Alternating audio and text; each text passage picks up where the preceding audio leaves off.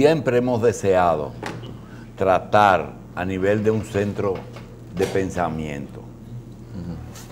Y nos da mucha pena que las universidades, que es el lugar ideal para discutir esos temas y para estudiarlos, inclusive dentro del capítulo de las investigaciones. La, investigación no necesariamente es un microscopio. Investigación es buscar la verdad o la solución de problemas, investigándola profundamente. Y nosotros hicimos una relación de, de temas que hoy quiero incluir una más, porque no queremos fuentes que vayan a distorsionar el tema. Y es pensiones y jubilaciones. Las pensiones y jubilaciones en la República Dominicana antes y después de la ley de seguridad social. Eh, son muchas las quejas de personas que se pensionan y se jubilan y se jubilan y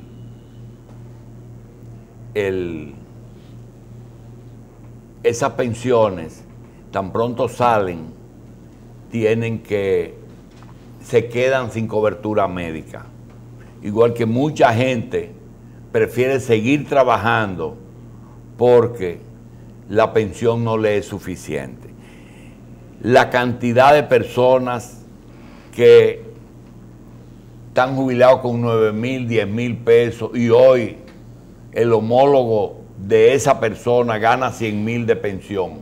Dicen, ah, no, es que en aquella época alcanzaban. Sí, pero está vivo y no, no le alcanza. Y usted se encuentra muchísimas figuras que, que, yo creo que deben de ser estudiadas más profundamente. El, es una pena que fungló de que yo creía que era eh, el lugar indicado para eso, sea un centro político del presidente Fernández, quien por cierto, quiero decir que en el día de ayer hizo un pronunciamiento que favorece, da la impresión de que el presidente del partido hizo un pronunciamiento diciendo que en ese partido no había división, sino criterios diferentes, cosa que es muy común en todas las organizaciones políticas. Pero dijo, los reyes lo ponen y lo quitan. Esa no fue el presidente del PRD que habló, fue el candidato presidencial. Y yo me extraño porque el presidente Fernández lo han puesto y lo han quitado o, obedeció su, su mandato, él ha ganado tres elecciones. Y parece que le está diciendo a alguien que lo ponen y lo quitan. Me preocupa mucho y a veces uno no quisiera tener los acercamientos que tiene con alguna gente del PLD. Se lo digo a veces a Rafaelito Grullón. Me da pena porque gente del PLD tiene una, una ¿cómo es que eso se llama? Un, una, un muerto, un muerto en el que están cultivando dos productos. Y me hacen recordar un amigo entrañable al doctor Luis Dimes Pablo, que me enseñó dos cosas que tienen que ver con ese cultivo que tienen los PLDistas. Y es, primero, los chinos en un momento dado y en algunas áreas enseñan a su gente y le dan un cursillo de mediocridad para que pase como la mayoría, de que no sobresalgan. Yo no creía que era verdad, es verdad. ¿De dónde saca usted No sobresalir. Y la otra es, señores, ese cultivo. Eso es nuevo. Ese cultivo que lo están abonando muchos peleaditas. No estoy diciendo que el presidente Fernández, Pero yo les recomiendo que no cosechen eso ahora mismo, que lo pospongan, que lo pospongan para después que ganen las elecciones. Es un cultivo de odio y de resentimiento con un alto componente de deseo de venganza.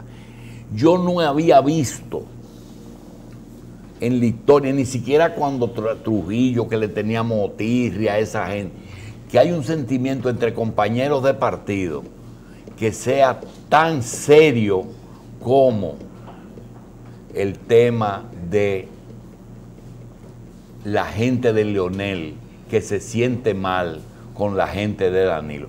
Están provocando que Danilo Medina, que para mí no está deseando continuar en el poder, pero tampoco lo puede desmentir porque se va todo el mundo para la Fundación Global, a lo mejor lo convencemos o lo convenzamos de que no le conviene entregarle el poder a la gente de Leonel, porque lo que yo oí me dio terror.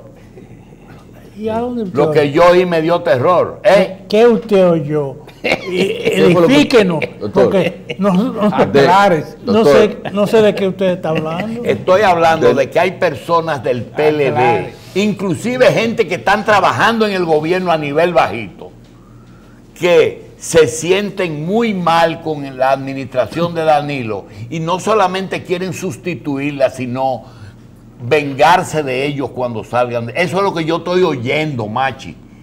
Y lo estoy oyendo Pero- todos los días. mire- Lo que no te puedo decir es la otra parte, quién es que lo dice, porque son amigos de los dos lados que tengo. Es de eso que te estoy hablando. Mire, hay un elemento para que usted no tenga en cuenta. Ahí viene la bola para Jón. Defiende tu gente. Mire, mire, es que, mire, hay, hay lionelistas y danilistas dentro del PLD, dentro del PLD. Ya dije que eso no, Eh, no, son- en la sociedad lo que hay es PLDista. Hay que, dentro del PLD hay donelistas y PLD y, y danilistas. Pero en la sociedad lo que hay es PLDista. Cuando usted se enfrenta a un PLDista afuera, lo defiende su partido, defiende su partido. No defiende una parte. Eso es yo- dentro que se manifiesta eso. Entonces explícame la actitud. Yo tuve un problema con un vecino que es PLDista, PLDista, PLDista de muchos años, círculo de estudio y todo eso. Y yo eh, había un asunto comunitario que le dije, use su influencia para que nos resuelvan ese problema. Y se dio una enojada, y después que yo me entiendo que es que él no está mandando. Lo que en el, en el- Lo que- en el partido lo- reformista. Lo que quería, lo que quería decirte Que había esa tradición, que he hablado, he mucho con tradición. el doctor Junior Espinosa. Mira, después que uno tiene cierta edad, uno aprende a entenderlo todo. Si después de viejo tú no entiendes a los otros, tu vida ha sido un fracaso. Tú tienes que entender por qué la gente hace las cosas. Por ejemplo, no es lo mismo una persona que trabaje en el gobierno, pero que está en una posición que él quizás entienda que cuando Danilo, cuando Leonel venga, él va a ser el jefe de él, no el que el subalterno. Y está viviendo y está viviendo bien, ¿eh? Espérate, espérate, espérate. Esa, ese sentimiento de no te apure. Ahora, otra cosa es la discusión mía con cosas, que es una estrategia. Caramba, óyeme, ganarle a Danilo y ganarle al PLD, una gente que no necesitan financiamiento porque tienen cuarto, una gente que solamente hay que soplarlo para que se caigan, una gente que teniendo el poder no es verdad, no es verdad, no es verdad que Danilo Medina va a volcar los recursos del Estado en Hipólito Mejía o en el doctor Moreno o en Eduardo Estrella de que para que gane. No, lo va a volcar en el PLD, en poca o en mucha medida. Y cuando tú estás en un partido minoritario que dice, ¿y cómo yo elimino a esta gente? Y yo vengo y planteo aquí, tiene que haber una justicia restaurativa. El doctor Junior me dice, espérate, la ley no dice eso. La ley dice que eso tiene que judicializarse y el primero tiene que confesar. ¿Por qué? Porque es la ley. Pero de paso, todo el que tú judicialices, está su judici y no puede ser candidato. Y esa es la forma más expedita de tú poder eliminar gente. Esa es la forma. Yo lo entiendo. Lo que yo no entiendo es cómo una persona que es del mismo partido, que necesita del apoyo del otro, que el presidente del partido dice, hay crecimiento, eh, no va a haber problema, andan por ahí y tú me dices, pero esos son unos carajos. No. Si tú quieres, yo te lo digo ahorita. Son personas importantes del PLD. Tú sabes cuál es el principal problema que tuvo Víctor Díaz en la justicia. Tú no lo vas a creer. El principal problema que tuvo Víctor Díaz fue decirle a Berenice, esa carajita desde que nosotros lleguemos, ella va a saber lo que es el poder. Eso no se dice. Eso quizás se hace, pero no se dice. Pero esa persona que usted cita ha cometido muchos errores. mucha gente han cometido, no son todos. Leonel hizo un discurso bueno, pero al final, para complacer esos sentimientos, se pone y se quita. Se lo dije tú y te le dije que los reyes se ponen y se quitan, porque había que darle un poquito de alimento a esas fieras que están viendo también un poco lejos eso, ¿eh? También un poco lejos eso.